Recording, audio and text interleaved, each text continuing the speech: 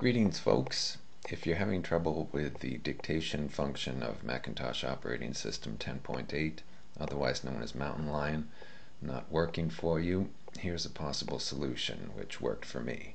Um, I had tried deleting a preferences file in a folder that was the commonly recommended solution in search results, but that didn't work for me. So if that hasn't worked for you, um, then try this one.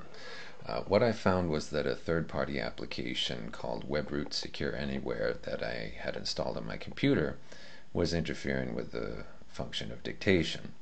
And what I had to do was um, turn off a particular uh, aspect of it, and then dictation started working for me again.